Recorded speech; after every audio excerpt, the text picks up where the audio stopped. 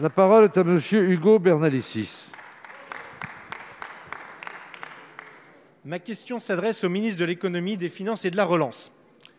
La France connaît une crise sanitaire sans précédent qui amplifie la crise sociale et marque une croissance du nombre de pauvres en France. Je pense aux 10 millions de personnes qui vivent en dessous du seuil de pauvreté et aux plus de 300 000 personnes qui vivent dehors, comme le déplore la Fondation Abbé Pierre. Il n'y a malheureusement pas suffisamment d'argent pour sortir les gens de la pauvreté dans votre budget. Et il n'y a pas d'argent magique. Mais je sais où trouver facilement 2,2 milliards.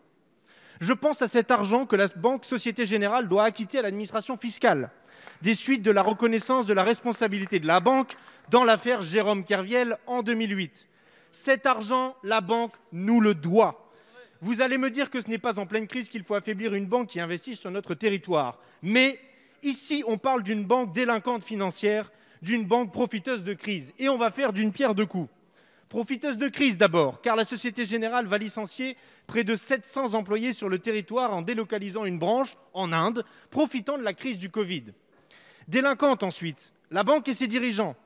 Après les Panama Papers, la corruption libyenne, les Cumex Files, voilà une nouvelle affaire, comme le démontre un article de Mediapart, expliquant le rôle de la Société Générale qui aurait aidé l'assureur AXA à frauder le fisc de plusieurs dizaines de millions d'euros. Il est incompréhensible, pendant que nos concitoyens voient la catastrophe sociale s'abattre sur eux, que cette banque délinquante soit laissée tranquille. Allez-vous faillir comme le gouvernement de François Hollande?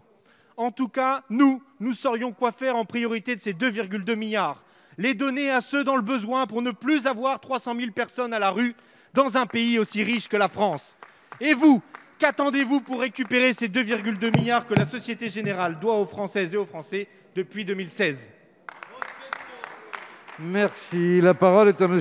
Gabriel Attal, secrétaire d'État, porte-parole du Gouvernement. Merci, Monsieur le Président, Mesdames et Messieurs les députés, Monsieur le député Hugo euh, Bernalicis. Monsieur le député, je vous entends reprocher régulièrement beaucoup de choses euh, au gouvernement. S'il y a une chose que vous pouvez difficilement reprocher à ce gouvernement et à cette majorité, c'est de ne pas aller chercher l'argent là où nous devons aller le chercher. C'est cette majorité qui a fait voter en 2018 une loi contre la fraude fiscale et qui a fait sauter le verrou de Bercy. Ça faisait des années que des gouvernements avaient pris des engagements en la matière et qu'ils n'étaient pas tenus. C'est cette majorité qui a permis la création d'une police fiscale, une véritable police fiscale en 2019. Et c'est quoi le résultat de cette action? C'est qu'en 2019, nous avons eu une année record en matière de recouvrement de la fraude fiscale. 12 milliards d'euros. Jamais on n'avait recouvré autant d'argent dans notre pays. La précédente année record était de 2015, c'est 2 milliards d'euros de plus. Donc nous n'avons pas de leçons à recevoir sur ce sujet-là, de même que nous n'avons pas à faire de commentaires sur des affaires judiciaires en cours ou sur des enquêtes en cours. Et sur le deuxième point, nous n'avons pas de leçons à recevoir non plus sur le sujet de l'accompagnement des plus précaires dans notre pays. C'est un plan à plus de 2 milliards d'euros qui a été présenté. C'est une aide exceptionnelle qui a été versée au moment du premier confinement. Trouver un autre pays dans le monde qui a débloqué autant d'argent aussitôt dans cette crise. La France l'a permis. Nous avons renouvelé cette aide.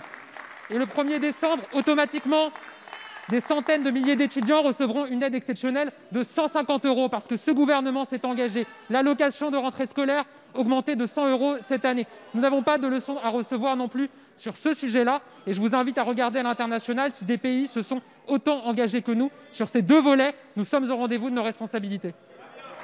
Merci, monsieur le ministre. Monsieur Bernalessis. Juste pour dire, et sinon, sur les 2,2 milliards de la Société Générale, on en est où? Merci.